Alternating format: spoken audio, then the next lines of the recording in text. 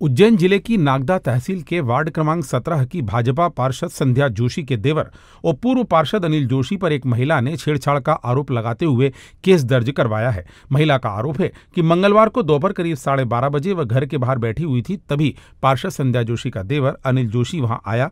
उसने दसवीं का फॉर्म डालने के लिए नौवीं की टीसी देने को कहा। महिला जब टीसी लेने के लिए घर के अंदर गई तो अनिल भी उसके पीछे पीछे घर में घुस गया और छेड़छाड़ की। महिला के आवेदन पर पुलिस ने पूर्व पार्षद अनिल जोशी जोशी पर केस दर्ज कर लिया है।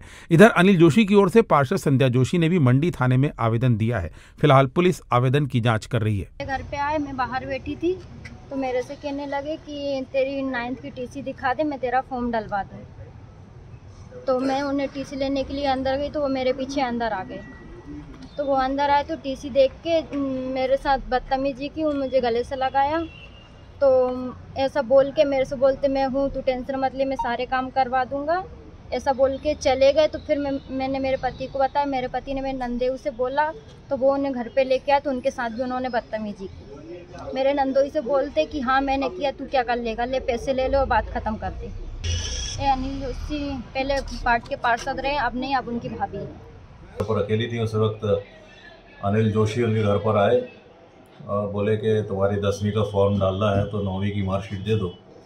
वो घर के अंदर मार्कशीट लेने गई इसी दौरान उन्होंने बुरी नीयत से उसको उसका हाथ पकड़ा और बदसलूकी की इसकी उन्होंने रिपोर्ट थाने पर दर्ज कराई है जिसमें हमने अनिल जोशी के खिलाफ प्रकरण पंजीबद्ध किया सर पीड़िता ने एक बात ये भी बताई कि नौकरी लगाने की बात भी कही थी पूर्व में पार्षद ने। कहाँ तक सत्य है सर?